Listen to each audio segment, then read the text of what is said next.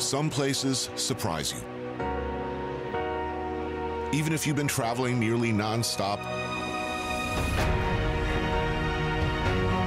there are places that snap you out of your comfortable worldview,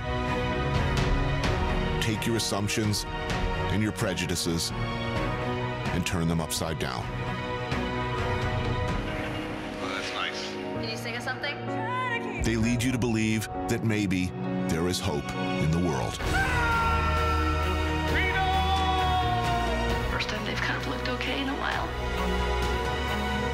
These are the places we choose to go, the stories we need to tell.